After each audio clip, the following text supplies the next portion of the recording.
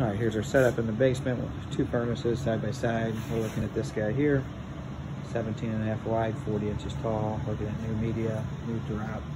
There's an older humidifier in the backside. We'll get rid of that and give them an option for a new one. Coil will stay, AC will stay for the first floor. Not doing anything with second. Have an air scrubber here. Need to check it, make sure it's working properly.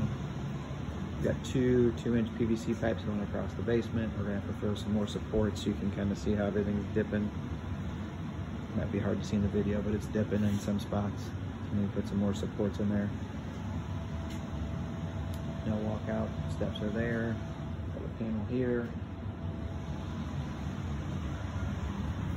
Four drains here.